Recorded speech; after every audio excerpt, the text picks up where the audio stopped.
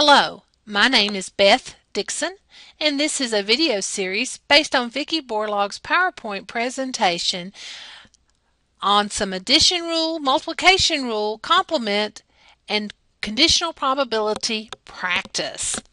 This PowerPoint is a combination of some problems on those uh, topics and probabilities.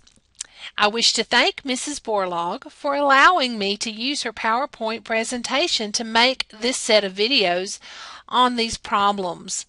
This video may help you decide which rule or principle to apply to your problems when they're not divided into their separate types.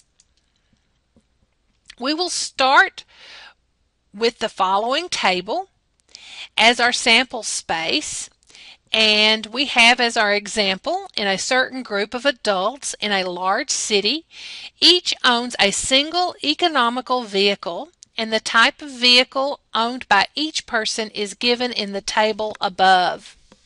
So we have motorcycles, scooters, and mini cars. And we have divided our adults into three age groups young, middle aged, and elderly. And we have a list of questions here that we want to answer. And if you're feeling uh, particularly um,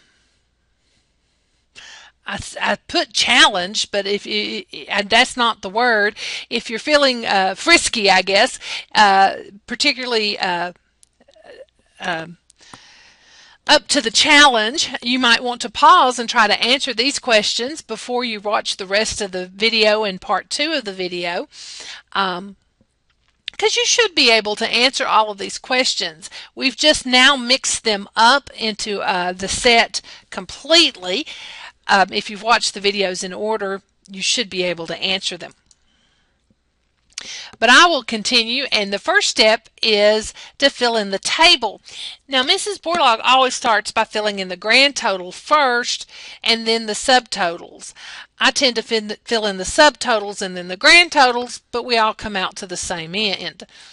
So the subtotals will add up the number of motorcycles. That would be 16 plus 23 plus 8, which is 47. The number of scooters, 21 plus 10 plus 5, which is 36. The number of mini cars, which is 32 plus 18 plus 11 to give me 61 mini cars. And then if I add 47 plus 36 plus 61, that would give me my grand total of 144. Then I can also add up each age group for my subtotal. 16 plus 21 plus 32 gives me a grand total, a subtotal of 69 young people. 23 plus 10 plus 18 gives me 51 middle-aged adults.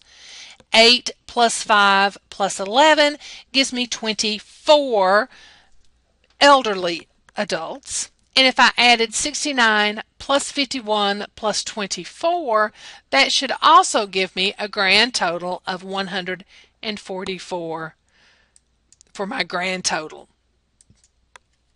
And remember, as you tackle these problems, always tackle them one at a time and read each care question carefully.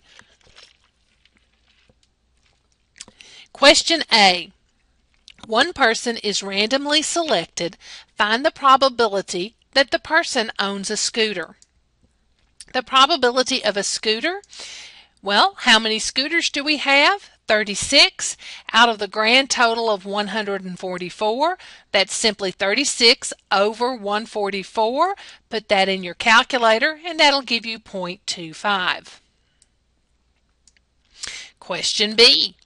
One person is randomly selected. Find the probability that the person does not own a motorcycle. Probability of not a motorcycle. Well, there are 36 scooters plus 61 mini cars. So that would be 36 plus 61 would be 97 out of the 144. For a grand total of 140 out of the grand total of 144. So 97 divided by 144 gives us 0.6736. And be sure that you check with your teacher about your rounding rules. Every teacher has a different set here. You just want to be sure to follow your teacher's guidelines. Now notice here that there is a different way to do this. I just love the little girl when she says, or, because she's saying, or there you could have done this problem this way. Since it says not, this could be done with the complement rule. And the complement rule says to find not a motorcycle, we can do 1 minus the probability that it is a motorcycle. And the number of motorcycles is 47 out of the grand total. So 1 minus the probability of a motorcycle is 1 minus 47 out of the 144 or 1 uh, 47 divided by the 144 which still gives us a final answer of 0.6736 the same as we got before the two methods, same answer.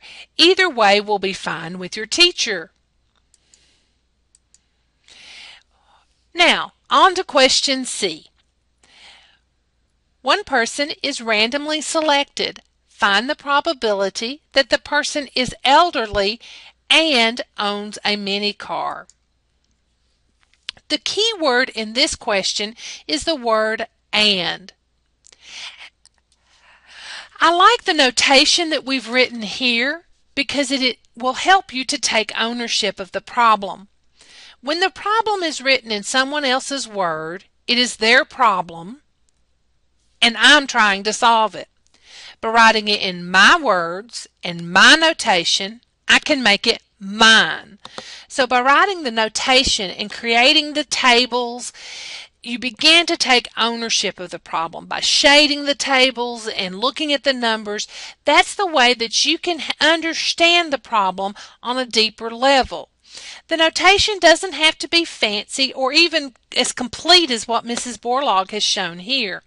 You could just use abbreviations or letters and not make the whole words or write out the whole words. But it will make the problem your own. Now, enough of chasing that rabbit and back to this problem. We are looking for elderly and mini cars. Let's highlight and shade the groups that we're looking at. So we have the elderly and the mini cars.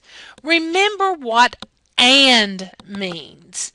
And, as from a previous video, you should remember is the intersection of two events, where they both cross or where they both overlap.